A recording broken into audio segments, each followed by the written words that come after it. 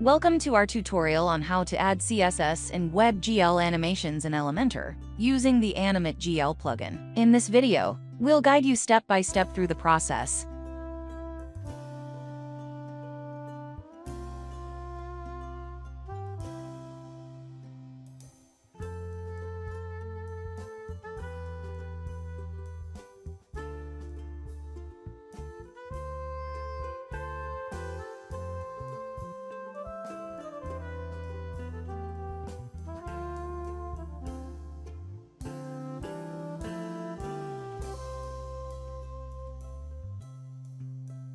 First, go to the plugin settings and install that plugin. I will leave the plugin link in the video description. It's a free plugin.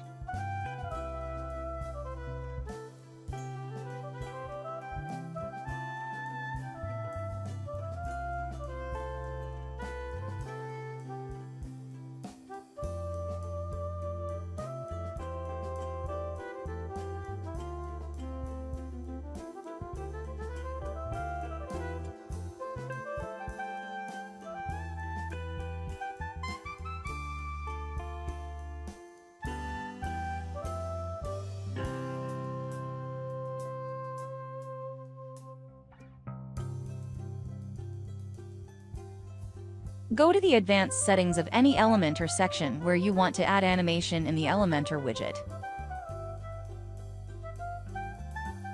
You can adjust various settings such as direction, speed, and effect delay to customize the WebGL animation further.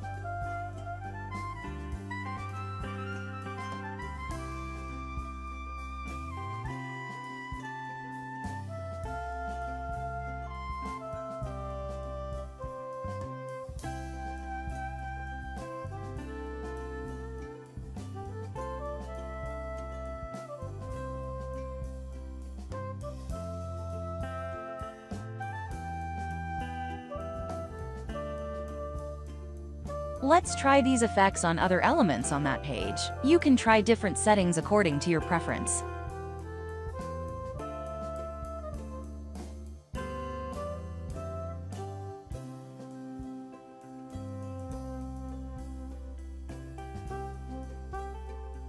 You can choose simple CSS fade and animation or more creative WebGL animations like bend, flip, stretch or directional fade. This plugin is lightweight, fast, and easy to use, making it the perfect choice for web designers looking to enhance their website's visual appeal.